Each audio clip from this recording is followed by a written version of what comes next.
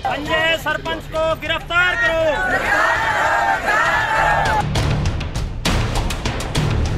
SP हासी न्याय करो। SP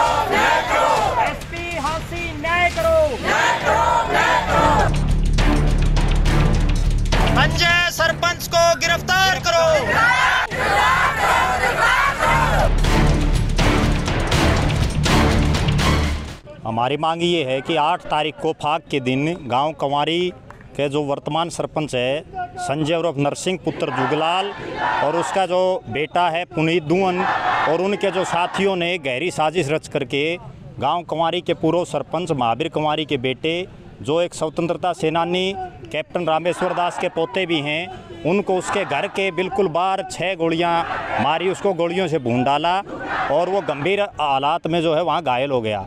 उसी संदर्भ में आज तेरह चौदह दिन बीतने के बावजूद हांसी पुलिस कोई कार्रवाई नहीं कर रही है।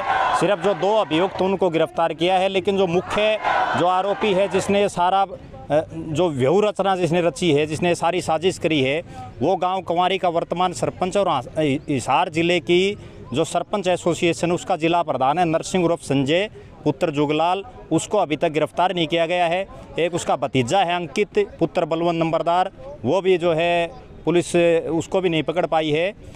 तो इसमें हमें न्याय दें और इन जो दोनों अभियुक्त हैं इनको गिरफ़्तार किया जाए। आगे की क्या रणनीति आगे रणनीति ये है कि अभी हम वैसे तो एसपी मैडम से दो तीन बार पहले मिल लिए आईजी साहब से भी मिल लिए लेकिन अभी तक पुलिस ने कोई ऐसी कार्रवाई नहीं की है। अगर अभी एसपी मैडम से दोबारा मिलेंगे सैकड़ों महिलाएँ और जो पुरुष आए हुए हैं गाँव से अगर उसको तुरंत गिरफ़्तार तो करते हैं तो ठीक है, नहीं, हम आईजी साहब से मिलेंगे।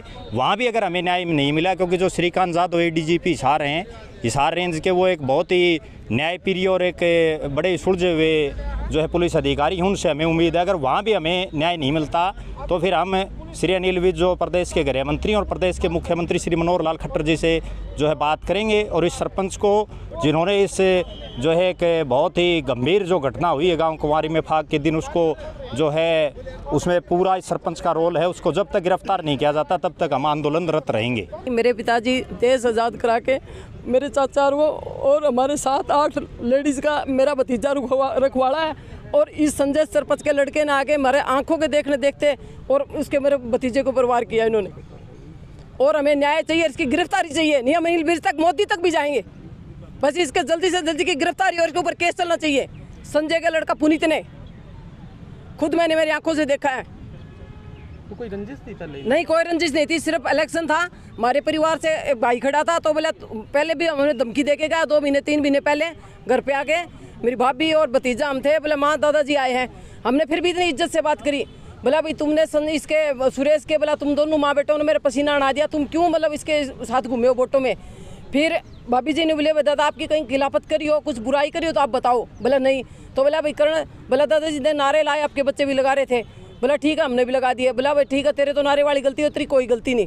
बोला, लेकिन तुम्हारे क्या परिवार में था? हमारे परिवार में है, बिल्कुल। फिर बोला, तुम दोनों माँ बेटा टारगेट में हो। अगर उस टाइम हमें पता होता तो हम सोचे, भाई, वैसे करके जा रहा है ये। फिर भतीजा बोला, ठीक है दादाजी आप बन गए, आप अच्छे काम करना अब। गाँव के छोटे मोटे काम शुरू कर दो। गाड़ गलियों के बोला, अभी तो मेरे पास ग्रांट नहीं है, कहाँ से काम शुरू करूँ? फिर मतलब वो चला गया। तो वो उस टाइम भी धमकी दे के गया था बोला तुम दोनों माँ बेटा मेरे टारगेट में हो। खुद मैंने सुनी है आँखों से हम वहीं खड़े थे। आपका नाम? मेरा नाम शीला जी। मैं यहीं रह रही हूँ मेरे उसके भतीजे के साथ ही अकरण की बुआ हूँ मैं। हमें न्याय चाहिए न्याय हमें अनिल ब्रिज तक जाऊँगी और मोदी तक भी जाएँगे हम।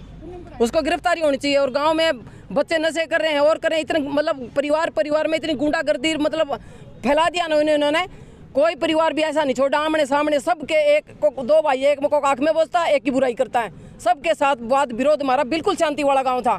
मेरे दादा भी सरपंच बने हैं, मेरे भाई भी सरपंच बने हैं, मेरे चाचा का लड़का भी सरपंच बने मेरे भाई जिला पार्षद भी बने, लेकिन कभी भी ऐसा नहीं हुआ। और भी गाँव में मेरे दादा चाचे सरपंच बने, कभी भी ऐसा नहीं हुआ जो इन्होंने दो तीन सालों में ऐसा किया है। सारे गाँव का शांति, भंग और माहौल खराब कर दिया। और हम चाहते हैं बस सजा मिलनी चाहिए बस इसको।